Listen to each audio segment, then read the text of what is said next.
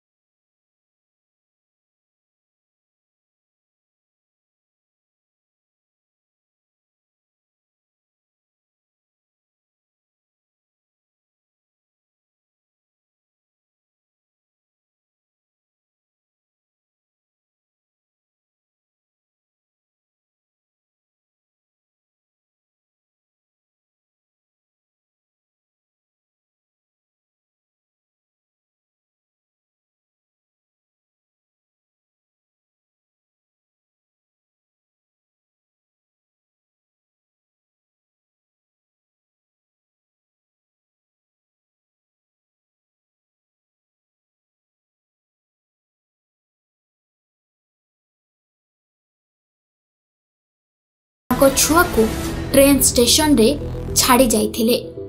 ନିଜେ ମଧ୍ୟ ଭିକ୍ଷା ମାଗି